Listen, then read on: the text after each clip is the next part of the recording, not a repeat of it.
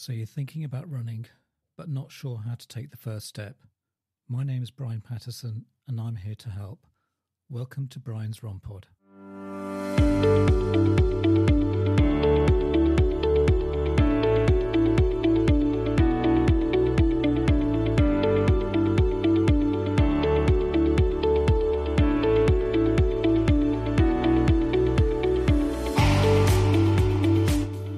So, hey there, runners and wellness warriors. Welcome to back to another episode of Brian's Run Pod, where we dive into all things running, fitness, and the holistic practices that keep us moving strong week after week. I'm your host, Brian Patterson, and today we've got a real treat for you.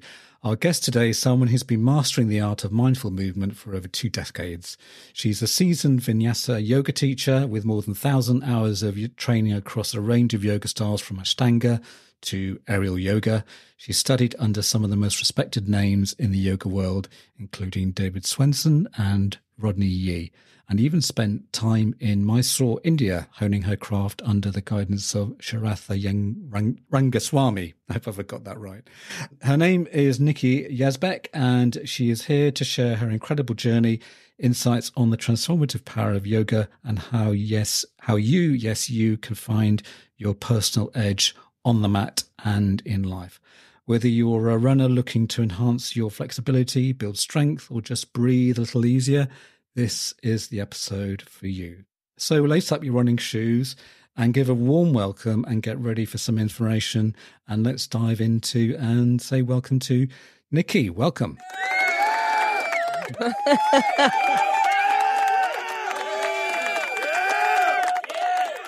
Sorry, everyone. I love that. that. uh, someone was described that as being quite cute. Anyway, how are you today, Nicky? Have you had a good day?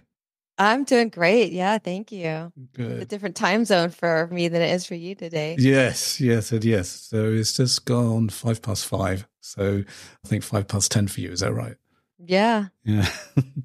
so as I do start, say with every, with all my guests, I kind of would like to get a sense of what exercise relationship was, your relationship with exercise was in terms of you growing up, like at, at school or at high school, and then sort of going into, you know, college or whatever.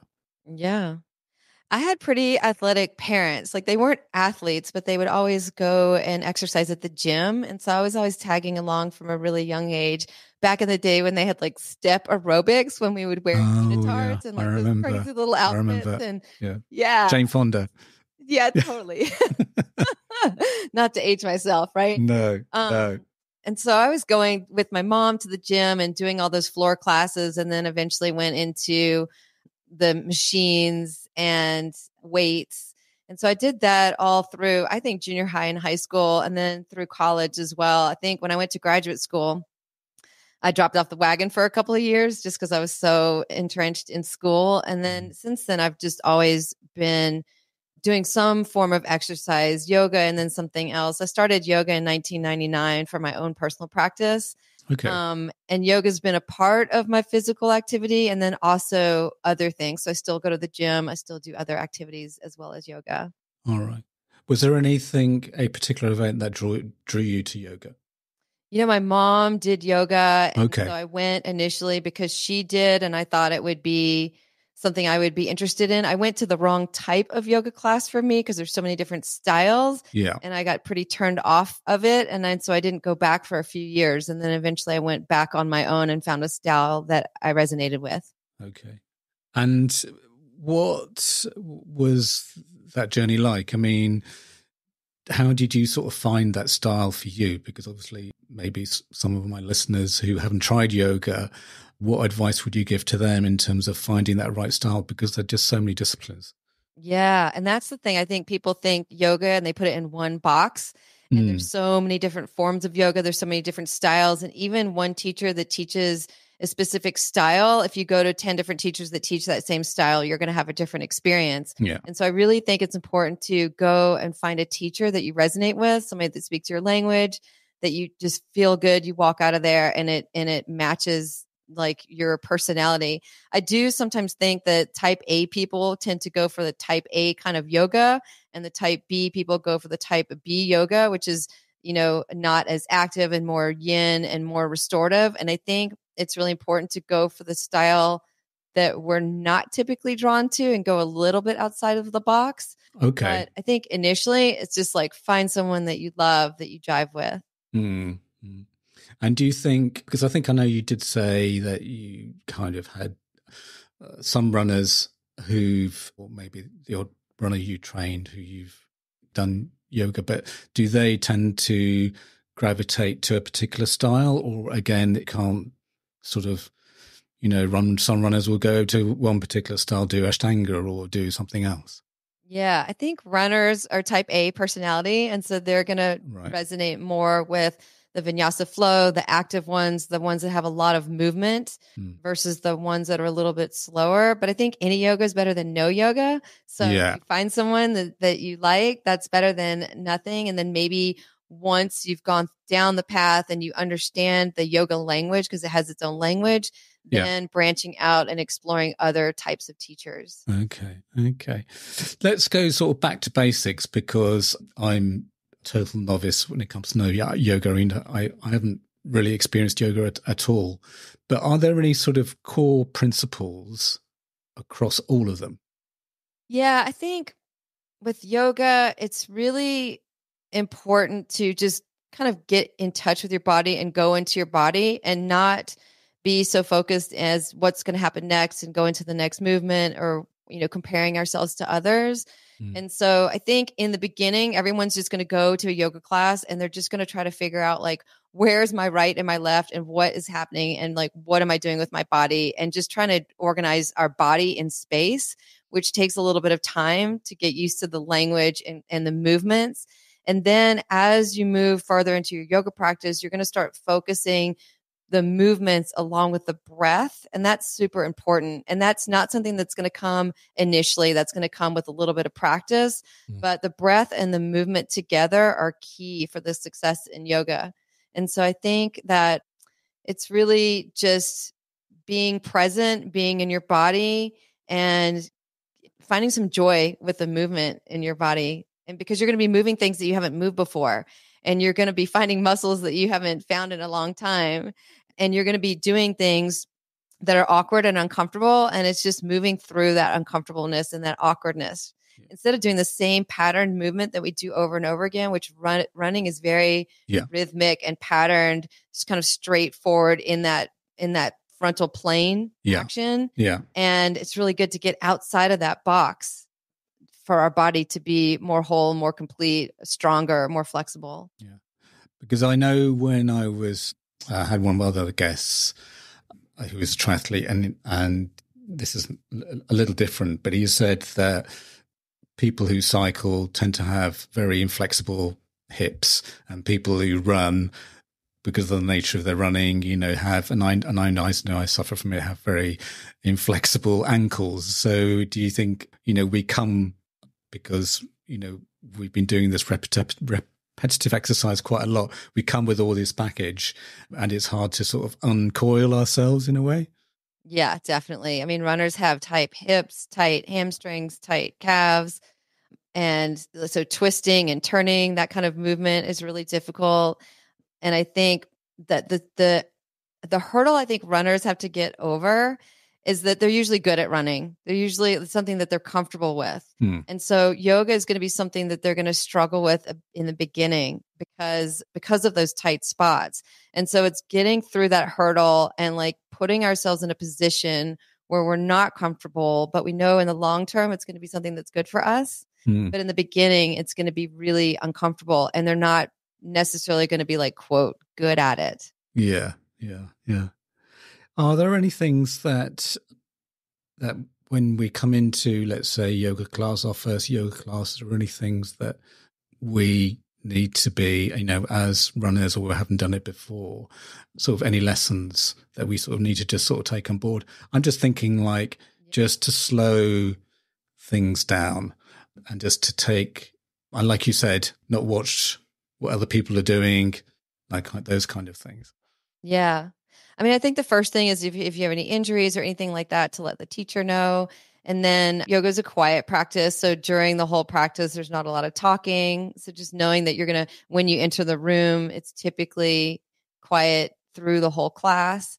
And then, yeah, it's a really individual practice. So comparing yourselves to others is not going to put yourself in the good headspace.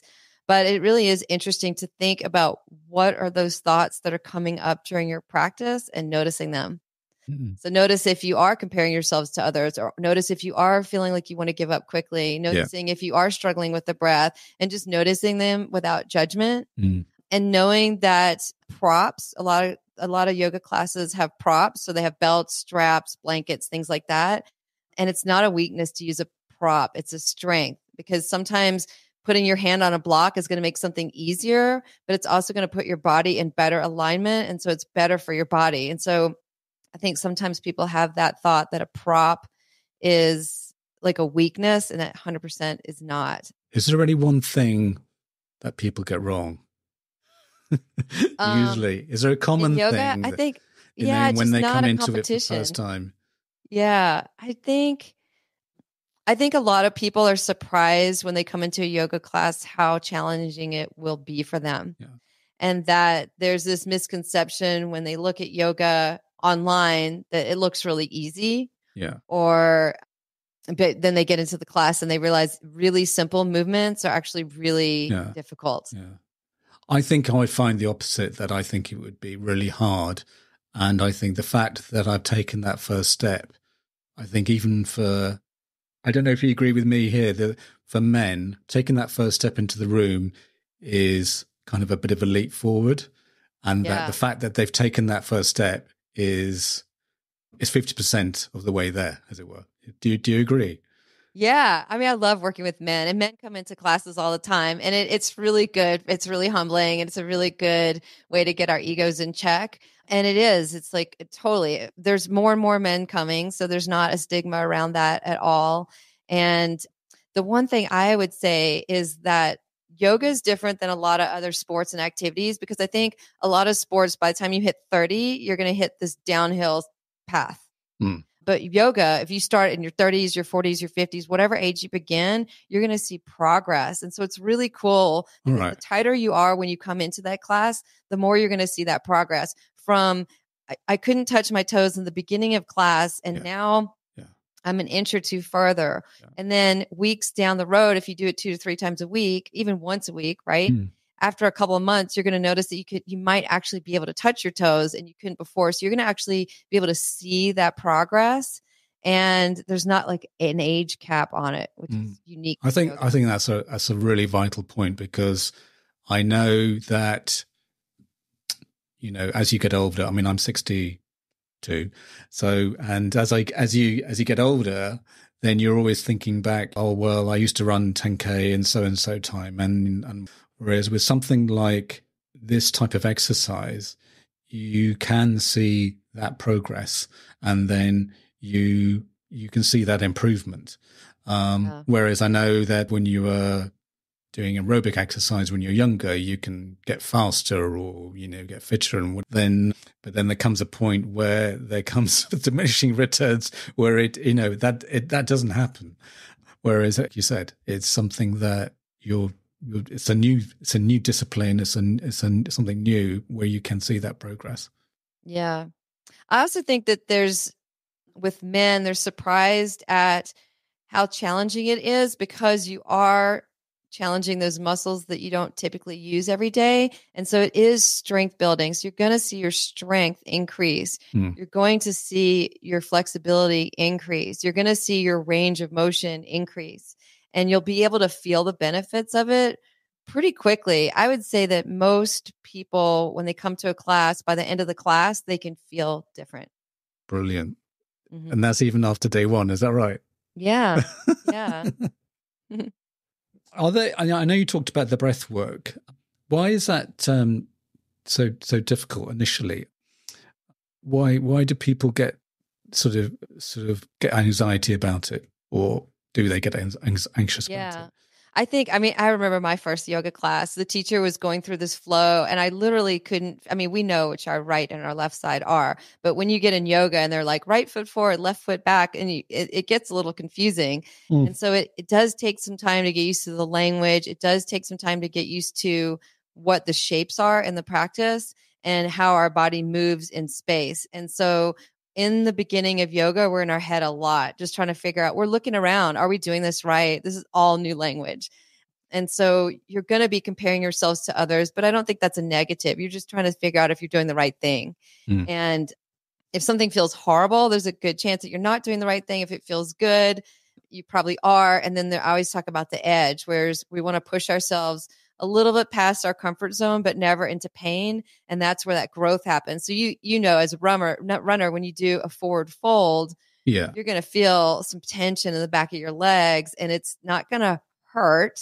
It's yeah. not going to be painful, but it's definitely going to push you a little bit. And so you want to go into those states, but a little bit longer than you normally would so that your muscles have time to lengthen and stretch out and so it does take the breath when you're in that. So if you're if you're hyperventilating your body's your nervous system is right. like amped up and that's yeah. not what we want. Yeah. so, so you're not breathing right. Yeah you're not breathing right. But in the beginning i wouldn't worry about the breath. I would just worry about like going showing up yeah. getting yourself in that space yeah. and getting used to the language and the movements. And then once that has become a little bit of second nature and you don't have to think so much then you can dive into the breath piece. So if I let's say I've moved on from day one to day two and I've come back, you convince me I'm coming back. Mm-hmm. Is it going to take the same format? Um, yes and no. So right. if you go say the same teacher, there's going to be some threads that are common, and then there's going to be some new things. So a lot of times there's a lot of new shapes getting thrown in, but most yoga classes have sun salutations but I would say if you go to 10 different teachers, the sun salutations are going to be a little bit different. So if you keep going to that teacher, you're not going to have to think so much about some of the basic things that come up over and over again. Mm-hmm. I just thought because it's something that you kind of get used to and you know, you think, yeah. oh, well, I know what's coming up, that kind of thing. But then maybe, like you said, it's not always going to be uniformly the, the same thing. Yeah. Every class is going to be pretty different even with even with the same teacher. The same teacher might have a similar class but every week they might be adding on or each class might be vastly different depending on the teacher that you go to. All right. But there will be like common language and common threads that if you went to 10 classes you would start to recognize those shapes. Everyone knows about downward facing dog. Oh That's yeah. that inverted v pose right? Everyone knows about the warrior poses and so there's some basics that are in every class, child's pose, things like that. Yeah. But you will be getting thrown new language from class to class. I just want to go back to the back to the basics again. How does yoga complement, you know, I know it's a very basic question, improve your flexibility, balance and strength? How how you know, how how does it?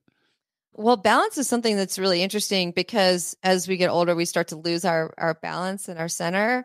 And yoga is something that can give that back to us pretty quickly. So if you think about yoga as opposed to other activities, we're doing a lot of things on one foot and we're working with our center of gravity and our balance and our stabilizing muscles. And so if you are older and you take a misstep and you trip, if you're doing yoga, you're more likely to be able to catch that trip than if you're not doing this because and then balance is something that can improve really quickly over time as well with practice. And I feel like we don't we don't connect our feet to the ground much because we're always in shoes. But in yoga, you're barefoot. And so your foot is touching the ground and you're activating the muscles in your feet. And you'll start to notice how your feet work with your stabilizing and your balancing. So that's pretty interesting. And you'll notice shifts in your balance pretty quickly. Right. Um, with flexibility, again, you're holding stretches, you're lengthening the muscles, you're holding them longer. And so with runners, we're shortening our muscles all of the time. Yes, that's true. Yeah.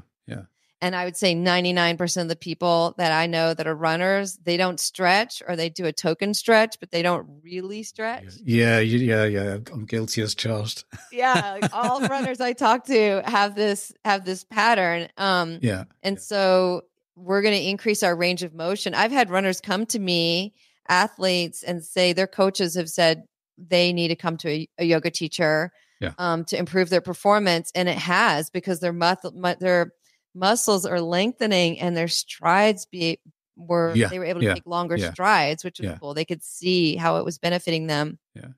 And runners don't stretch. Yeah. So if we could stretch before practicing to warm up those muscles or after, then that's going to aid in our recovery and your recovery time will be shorter. Yeah. Yeah. Yeah. And also injury prevention as well. Yes. Yeah. Yeah. I was just interested in what you said about being in contact with the ground barefoot.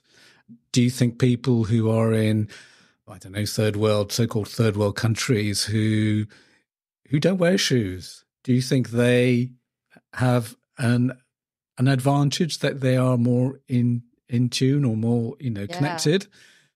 Because do. I maybe mean, us in the Western world, in the in the in the first, we although we have so many luxuries and we wear these clothes and shoes, uh, oh, become less and less stiffened up, as it were, sort of thing. Yeah. I've spent a lot of time in developing countries. And if you look at, especially women, it's more noticeable with women. If you look at their feet, they are so much bigger and wider. Interesting. And because they're not squashing shoes all of the time. Yeah. And there's been tons of studies about grounding, or they call it grounding or earthing, where Hmm. our actually our body has so much energy and putting our feet on the earth and on the ground, it lets us discharge some of that energy. And Yeah. so often in in developed countries, we're in shoes all day long. We come home, we might put slippers on, and we're never barefoot. Right. Um, and right. so the really cool thing about yoga is, Yeah. And I'll talk. I could spend a whole class just talking about our feet yeah. and spreading our toes wide and contacting the earth with all four corners of our feet equally and just noticing do you put your weight on your heels? Do you put it on your toes? And really evening that weight distribution on our feet and grounding our feet into the earth. And almost like if you were going to pick up the earth with your toes so you're that engaged. And so when you do that when you do that foot engagement on the ground in yoga you will feel your muscles lengthen up and tighten up through your calves and all the way through your quads. Yeah. Yeah. And so I Yeah. think we forget about our feet. Our feet Yeah. are super important. Yeah. I mean, I just getting over an injury. Um, what they call policeman's heel. You know, plantar fasciitis. I don't. Yeah. And I think that's either due to either incorrect running shoes or or I don't know, just you know, all around because it's kind of like a repetitive a kind of repetitive strain injury type of thing within the within the heel. And I suppose with all these things, there's a chain, isn't there? And it kind of all travels up to. But yes, I know. I, I know. Talking about the developing countries, I mean, I'm I'm half Nicaraguan, and I know when we used to spend time in Nicaragua, we in the morning we used to. We're not. I'm not going off on a tangent. There is a point to this, though. But um, you'd you'd hear the ladies selling bread, and they would have bread on their head, Yeah. and it'd be like, and then like ramrod straight sort of thing, and they'd be walking in barefoot. But that's something you know. Is, they must be so sort of like in tune with their body and everything. So yeah. I mean, that's another thing that yoga definitely helps with our posture. Hmm. Um, and if your posture's not correct when you're running, it's definitely going to affect your body long term and your run time. yeah, And so, because yoga is so much having to do with body awareness, it can correct some postural deficiencies yeah. Oh, good, great. or imbalances, postural imbalances. Yeah. So you are a vinyasa. Did I get that vin, vinyasa, Vinyasa, flow? yep. Vinyasa flow. So what is vinyasa flow? Vinyasa flow is a style of yoga where there's a lot of movement. And so, if you think of it like rhythmic movement, and it's paired with the breath. And so it's pretty fast paced. It would be pretty much for a type A kind of person Yeah. where it's constantly moving, constantly flowing. So some yoga, if you look at hatha yoga, it's more stagnant, Right. um, where they'll do a pose, they'll hold it for a while, then they'll come out of that pose and they'll do another pose and hold it for a while. If you go to a vinyasa flow class, there's lots of movement with not a lot of stops or long pauses. right. So is it more for someone who has done yoga for an intermediary or or could someone who is a who's a complete beginner go into that? Yeah, a complete beginner could go into it. They might get a little lost in the beginning. I think once, I think it's better to go to a big beginner's class or even a hatha class and learn all the shapes. And then Yeah. once you feel comfortable, you're not having to think so much, then Right. a, a flow class would be a better option. So is there a difference with the because you said you talk about hatha yoga, is there a difference in the type of positions and sequences between the two styles of yoga? Yeah, hatha is just more, they'll do a shape for a while, they'll hold it, then they'll change into another shape and they'll hold it, and then they'll do another one. Where vinyasa flow, it's just moving, Hmm. moving, moving, moving, Hmm. and constantly moving from one to the other to the other to the other. So it's really rhythmic. Right. Okay. So it's a bit like a dance. Is that Yeah. kind of thing? Yeah. Yeah. and your your heart rate will get a lot, or kind of your average heart rate will get higher. yeah. Yeah. It's a it's a good workout if you're going to look at like I want to go to yoga and get a good workout and I want to sweat and get my heart rate up and I want to get stronger and more flexible then vinyasa flow is a is a great option Mm. where there is benefit from holding poses for a long time too and those can be imp- incredibly challenging and strength building as well it's just a Mm. different style Okay. So would you describe it as the more aerobic, whereas the the hatha would be more sort of anaerobic? yeah hmm And that's a wrap for another exhilarating episode of Brian's Run Pod. Thanks for tuning in, folks. As always, we've got your back with all things running. And next week, get ready for some awesome beginner hints and tips to kickstart your running journey. Oh, and before we sign off, exciting news. We're now available on YouTube. So whether you're pounding the pavement or chilling at home, you can catch us there too. Plus, we have a new feature on the podcast. You can now send me a message. Yep, you heard it right. Brian's Run Pod has become interactive with the audience. If you look at the top of the episode description, tap on send us a text message. You can tell me what you think of the episode or alternatively, what you would like covered. If you're lucky, I might even read them out on the podcast. Hey, if you want to keep up with the latest updates, behind the scenes fun, and even some exclusive ton- content, make sure to follow me on social media. You can find me on Twitter, or should I say X, at Brian's Run Pod. We've also just launched a shiny new Facebook page. Simply search for Brian's Run Pod and give us a like. And don't forget to hop on over to Instagram where you can catch all our visual adventures at Brian's Run Pod.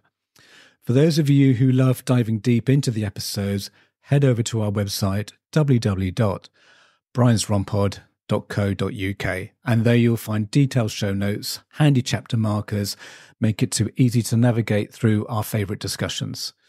Please leave a review as it will always help find others find this podcast. Music is by Happy Days by Stock Audio, not forgetting artwork by Alice Patterson. Till next week, thanks again for listening.